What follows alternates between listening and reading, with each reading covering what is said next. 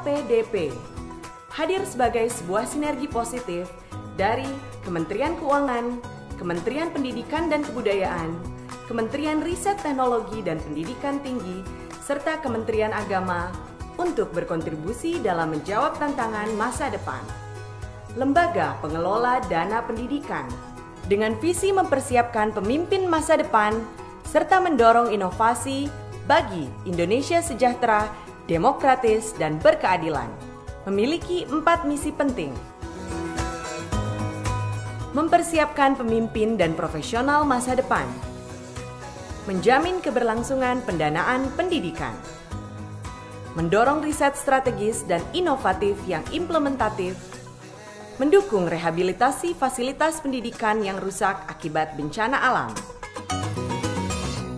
Dalam rangka mempersiapkan pemimpin Indonesia masa depan, LPDP memiliki program Beasiswa Pendidikan Indonesia.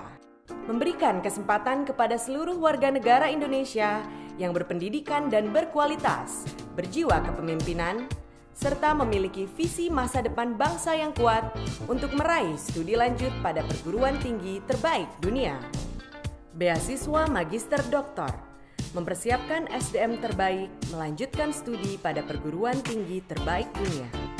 Beasiswa tesis disertasi memberikan kontribusi bagi ilmu pengetahuan dan teknologi.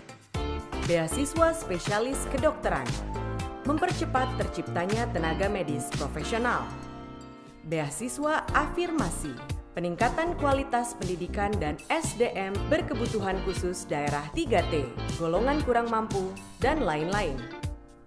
Beasiswa Presiden Republik Indonesia bagi 100 putra-putri terbaik bangsa setiap tahun untuk pemimpin bangsa masa depan.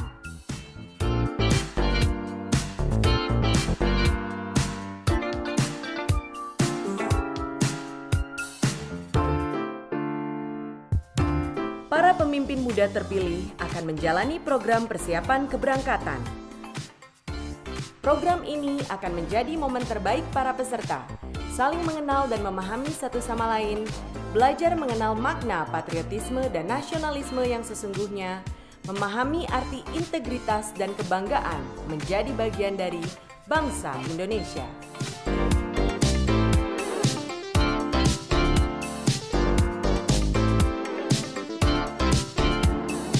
pemimpin muda akan terbang ke segala penjuru bumi, membawa semangat baru dan membentangkan harapan untuk Indonesia yang lebih baik. LPDP turut mengambil langkah serius dalam mendorong riset strategis dan inovatif melalui program Riset Pembangunan Indonesia.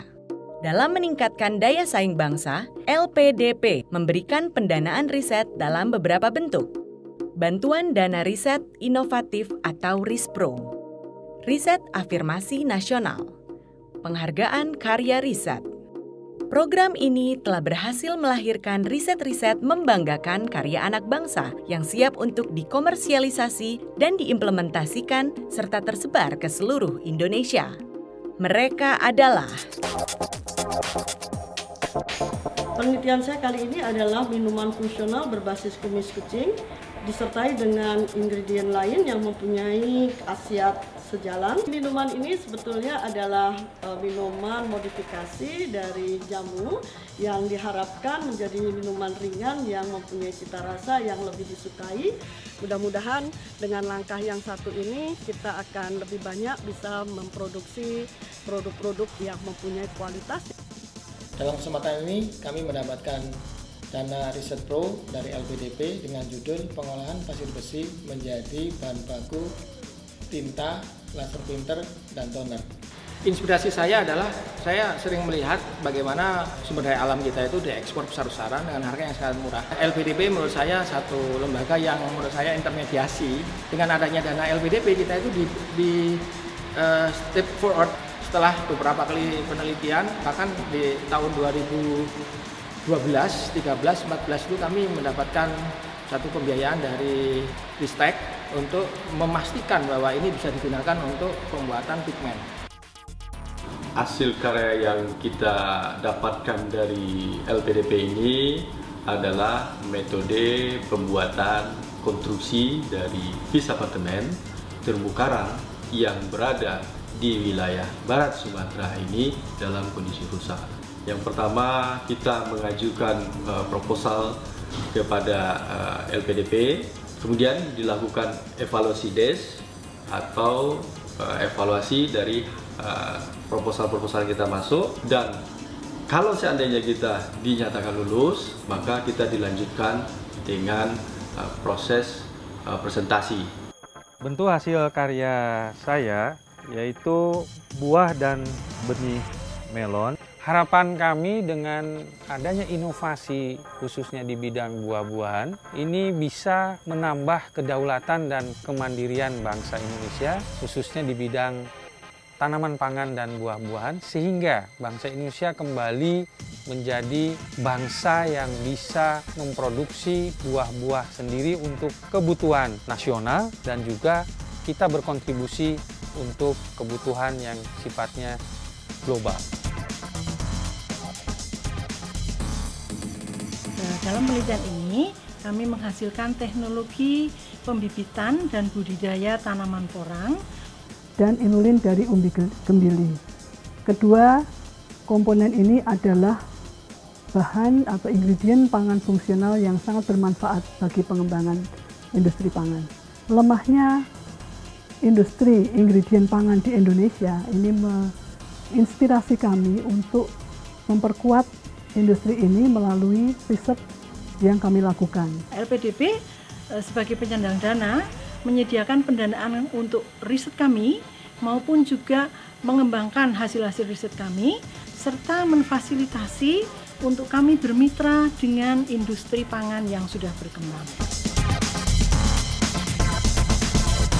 Hasil riset eh, kami yang kami lakukan saat ini nanti wujudnya adalah baterai lithium ion lithium jenis lithium ferrit fosfat yang akan diaplikasikan untuk mobil listrik.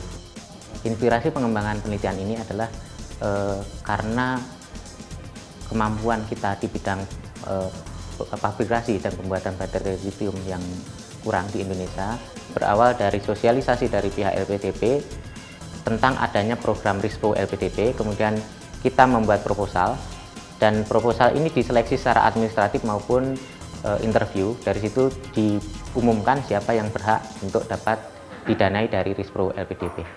Harapan saya melalui riset ini, baterai ini suatu saat bisa benar-benar diaplikasikan untuk penggunaan kendaraan listrik di Indonesia seperti sepeda listrik, motor listrik maupun mobil listrik. Bersatu dan berkibarlah para pemimpin muda untuk menopang masa depan Indonesia. Kejarlah makna keberhasilan dari potensi dan bakat yang kita punya, dan jadikan Indonesia sebagai bangsa yang maju, kompetitif, demokratis, sejahtera, dan berkeadilan. Jadilah bagian dari lembaga pengelola dana pendidikan